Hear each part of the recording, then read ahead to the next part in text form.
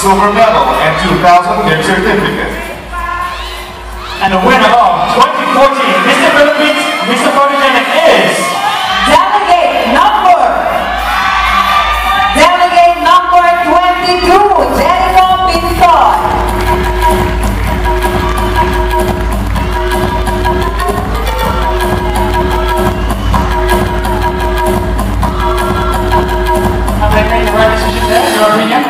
In my opinion, I, I love the photogenic because they're the one who captures the heart of the camera.